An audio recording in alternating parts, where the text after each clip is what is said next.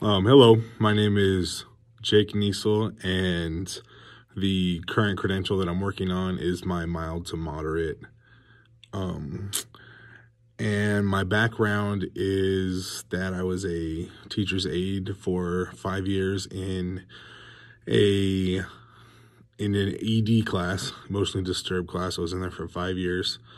Um, I worked my way up from being a being an aide with um, RSP students, and and at the same school they needed a they needed someone to step up and um, work in the ED class, and they chose me, so I got promoted to do that. Um, after that, I moved schools and became the resident substitute. And after about a year, um, they hired me as the SDC science teacher on my intern credential. Emergency, on my emergency credential. Um, now, currently, I moved again and I'm at another school and now I'm currently the ED teacher um, at Beaumont High School. Um, there's about 2,800 students here and um, I teach all subjects. I teach students in 9 through 12, so I teach every grade level.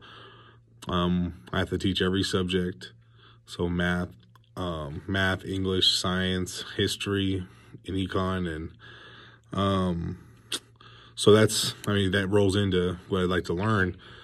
Um, currently, I have to um, merge the classes together. I have certain students learning different subjects in different classes. And I've only been in here about, um, this is my fourth week teaching. So I'm still learning uh, the ropes and everything on how, how it's going. But um, what I really like to learn is how to organize everything and be prepared for class, especially with having multiple subjects in each class. I do have two um, aides and they're both really good.